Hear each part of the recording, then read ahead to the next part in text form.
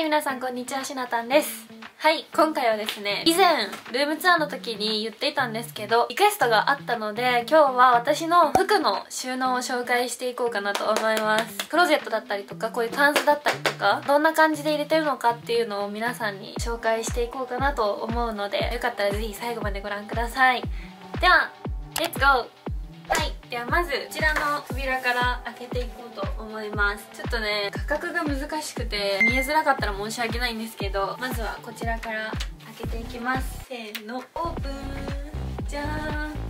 んな感じです。一個一個のクローゼットがちっちゃめなのであれなんですけどここにはハンガーラックがあるのでなんかちょっと薄めの上着。例えばこういうシャツジャケットだったりとかこういうジャケットとかもそうだしあとはそうだな。ジャケットが多いかもしれないんですけどこういうデニムジャケットとかカーディガンとかなんかそういう薄めのジャケットをこんな感じでかけてます。で私のクローゼットの中のこだわり的にグラデーションになるようになるべくしたくってなのでこっちからブラック系ここデニムつながりでこのブルドデニム薄めのデニムグレーとかホワイトあってでブラウン系あってってみたいな。グリーンとかパープル色物こっちみたいな感じで見やすいようにこんな感じで分けております。上はねちょっとあの引っ越しの時の段ボールのままなんですけどここには帽子が結構ずらっとあります。帽子の収納の仕方が分からなくてとりあえず段ボールに詰めちゃってるんですけどこんな感じであって下行くとここにはパーカーとかスウェット類がこうずらっと畳んであります。下もこんな感じでスウェットがあるんですけどなんかちょっと古着屋さん的なニュアンスにしたくって店のこのディスプレイじゃないないですけどなんかそういう感じにしたくってこれもなるべく色で分けてるつもりなんですがこっちの奥にもずらっと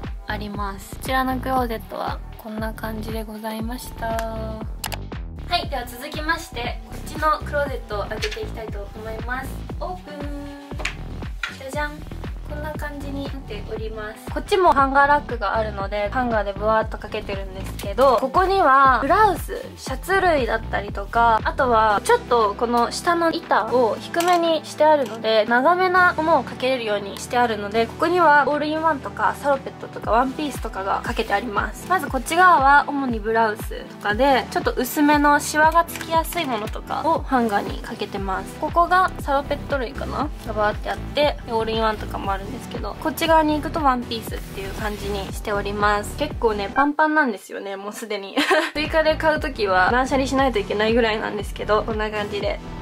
かけてあってこっちの下は特に決めていなくってなんかいろいろあるんですけど普通にスキニーパンツ。これはローラさんのブランドのスキニーパンツなんですけどこの袋がセットで付いてきたのでこれに入れて保管とかしてたりとか。あとはまだ未開封の洋服とかベモアのサンプルとかそういうのが結構お家に溜まっていくのでそういうのを入れたりとかしてますね。この下は割とフリーでいろんなものを置いてます。でそしてこの上なんですけどマフラーを入れてます。このねロックスは100均で買いました。ダイソーだったかな？買ったんですけどこんな感じでマフラーを畳んで入れてます。こっちもこんな感じで。奥にはまだ使ってないハンガーたちがあるんですけどそういうのを置いたりとかしております。はいということでこちらのゾーンはこんな感じでした。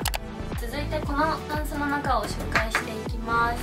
結構パンパンなんですけどここには主にニット類とかを入れてます。ハンガーにかけるとちょっと伸びやすいかなってやつとかを入れてるんですけどこれも色で分けてて一番上はブラックのニットとかグレーとかブラウン系のニットとかを入れてます。そして2段目は引き続きブラウン系のニットでホワイト系とかこんな感じで入れてて3段目もここら辺は結構カラフルなニットが多いんですけどなんで入れてます。4段目なんですけどここからちょっとデニムとかを入れてるんですけどやっぱデニムとかって結構重みがあるのでタンスの下の方に入れてます。ここはまあカラーのニットがあるんですけどこんな感じで入れててで一番下はもう全部デニムですね。ここには色が薄めなデニムを収納しております。こちらのタンスはこんな感じでした。続いてこっちのタンス。1段目がなんかこういう細かいものビスチェとかちょっと短めのトップスとかキャミソールとかそういいうのをこの中に入れてます。これもブラックとホワイトグレーとかブラウンで色物みたいな感じで分けてます。でこの下はもう全部 T シャツなんですけどこんな感じで圧倒的に白 T が多いですね。結構パンパンですねここも。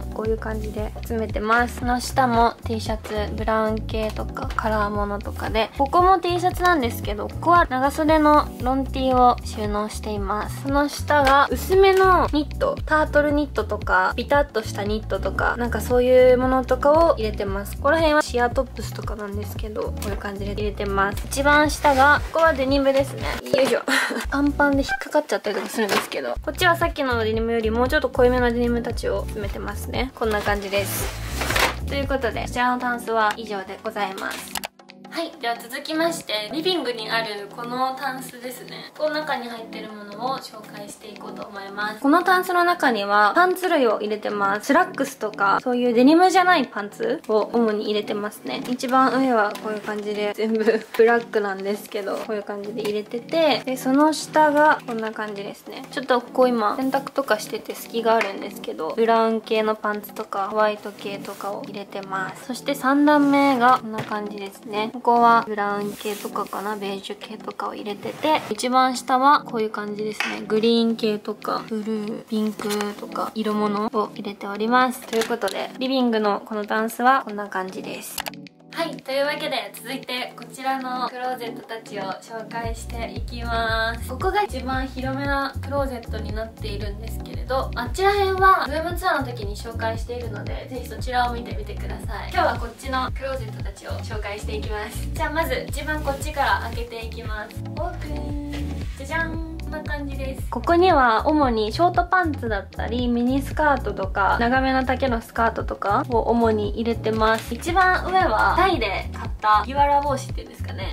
こに入れてますね。2段目はちょっとトレーニングウェアとかそういう系。ジムに着ていけそうなやつ。まあ今ジム通ってないんですけど。とかを入れてます。3段目これがショートパンツになります。一応ね色で分けようと思ってるんですがちょっとぐちゃぐちゃになってますね。はい。そしてこの下にはスカートですね。ミニスカートがずらっとあります。この下が膝丈とかのスカートですね。がバーっと畳んでありますね。一番下はファンデーションがねめちゃくちゃ入ってるんですけど置き場がなかったのでとりあえずここにずらっと入れてます。はい。ゃあ続いてこっちですね。ここを開けていきたいと思います。オープン。じゃんこんな感じです。ちょっとここはね見せるような綺麗さとかではないんですけどまあ一応紹介していきたいと思います。こういう感じでここにはねバッグがずらっとあります。ね。一番上はちょっと大きめのバッグ。気持ち大きめなバッグたちを立てて置いております。でこの下行くとここはブラックゾーンですね。ちっちゃめのブラックのバッグとかこういう感じで。テトリスみたいに入ってるんですけど。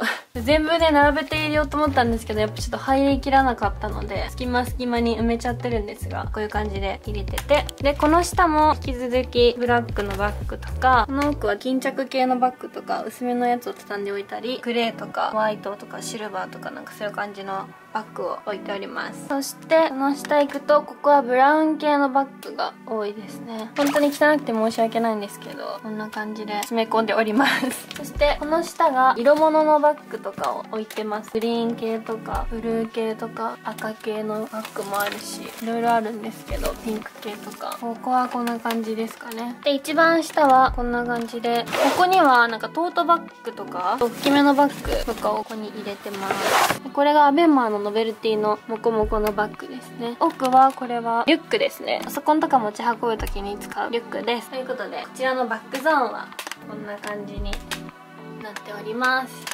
はいでは続いてでラストなんですけどラストここですね。こちらを開けていきます。オープン。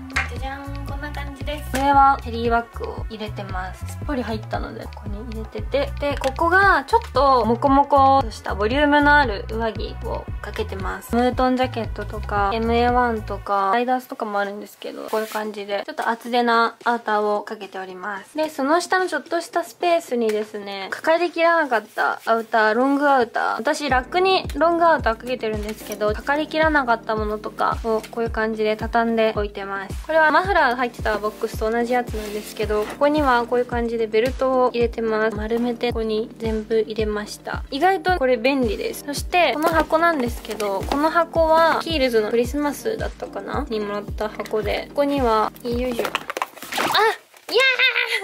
最悪そうなりますよね。片手でやるもんじゃないですね。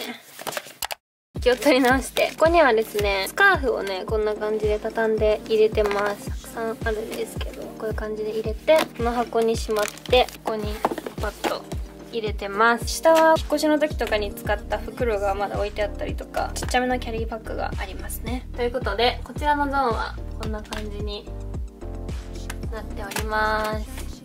はいというわけで私のクローゼットはこんな感じでございました。結構いろんなところにクローゼットがあるのでバタバタはするんですけどなるべく似たようなものとかを一緒にかけておいてますね。この前コメントであったんですけどなんかシュナタンのハンガーにかける服と畳む服の違いを知りたいですっていうコメントがあったんですけど私は個人的な区別としてはブラウスとかシャツとか畳むとシワになりやすいなって思うものとかちょっと薄めな生地のものとかは結構ハンガーにかけて収納してますね。ワンピースとか柔らかい素材のものとか畳みにくさもあるのでそういうものをかけたりとかあと畳むものとしてはニットはかさばるはかさばるんですけどやっぱりハンガーにかけるとニットの重みでどんどん伸びたりとかしていくのかなっていう風に思うのでニットはなるべく畳むようにしてます。そのニットとか T シャツとかの畳み方なんですけどこうやって T シャツがあったとしたら多分みんなこういう畳み方なんじゃないかなと思うんですけど襟のところをこうまっすぐ折ってまたそれをちょっと折り返してこっちも襟のところでこ